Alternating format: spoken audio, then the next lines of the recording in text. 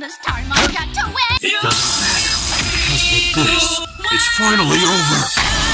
Patriots 20 and 6.